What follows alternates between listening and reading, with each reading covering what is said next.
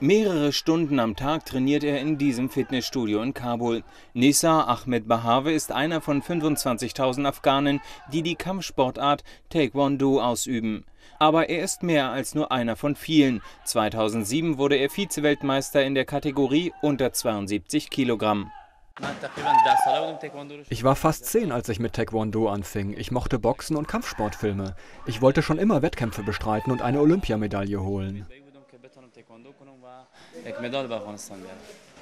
Es erfordert viel Einsatz, um in einem Land mit so wenig Angeboten ein Topathlet zu werden. Das private Studio, in dem Bahave trainiert, hat nicht einmal Duschen. Aber wahre Talente setzen sich durch. Rohulan Nikpai ist erst 20 und schon als zweiter Afghane im Taekwondo für die Spiele in Peking qualifiziert.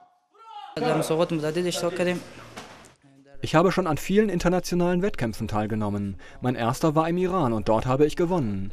Ich habe auch schon einen Titel in Indien geholt. Nick Pai wurde Zweiter in der Olympia-Qualifikation für ganz Asien und zusammen mit Bahave hat er ein 45-tägiges Trainingslager in Südkorea absolviert, der Geburtsstätte des Taekwondo. Dank der Vorbereitung durch den afghanischen Taekwondo-Verband hoffen wir, dass diese beiden Athleten Medaillen bei den Spielen holen. Schließlich haben sie schon Titel bei Turnieren in Asien und im Rest der Welt gewonnen.